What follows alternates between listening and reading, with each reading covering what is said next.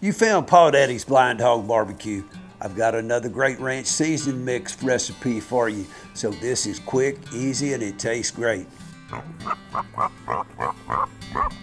There's a link for my other ranch seasoning recipes right up here above. But today we're making ranch cheese spread slash dip and you can find the instructions for this and the ingredients they're right down below.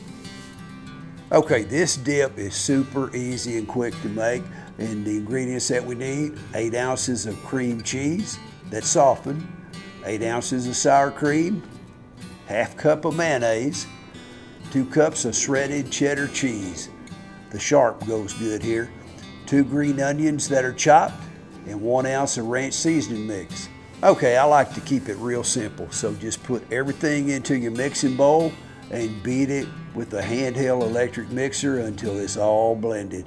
And then transfer to an appropriate size bowl, refrigerate for at least an hour. When you got it chilled, it's ready to serve with chips, crackers, bread, or the veggies of your choice. So if you like what you see, well, consider subscribing.